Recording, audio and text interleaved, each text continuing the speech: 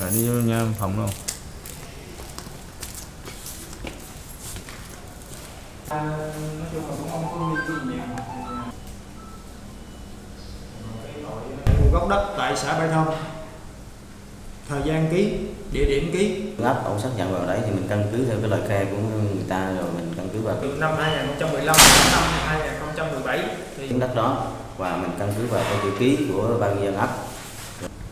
Làm dụng vị là phó chủ tịch ủy ban xã Bãi Thơm từ năm 1999 bị can hãy cho biết bị can bị bắt về tội gì?